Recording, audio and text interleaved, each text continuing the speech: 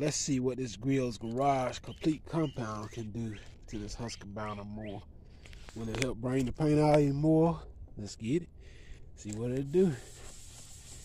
Just having fun with this thing. This thing been sitting up, man.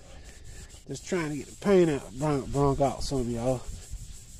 You can hear it, man. It's very oxidized. And with this one sitting all the way in the woods, had to go with some compound on this, this part. Yes, sir.